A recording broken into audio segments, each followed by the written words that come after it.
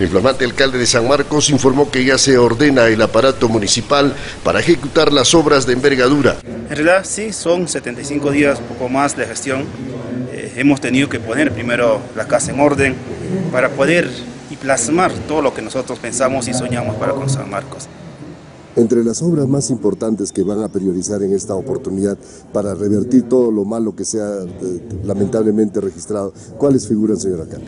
Hay muchas obras en realidad, usted sabe por disposición, eh, se necesita eh, cerrar, brechas. Y desde ahí tenemos que comenzar a cerrar brechas en el tema de agua potable, en el tema de saneamiento básico, electrificación, ahí es lo que es, es transitabilidad, educación, salud, hay muchos proyectos en los cuales estamos eh, enfocados a poder eh, y aportar para qué, para el cambio de San Marcos. En tal sentido informó que el sistema de agua potable será una realidad.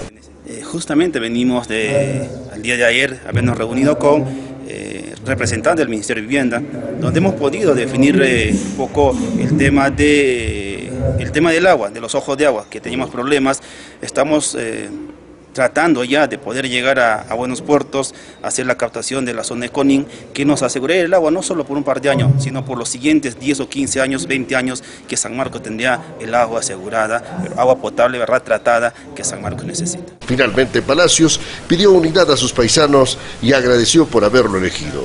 Solo decir a, a todos mis paisanos sanmarquinos que de verdad es un honor para mí representar ser en este momento quienes representen y lleva su voz de cada uno de ellos.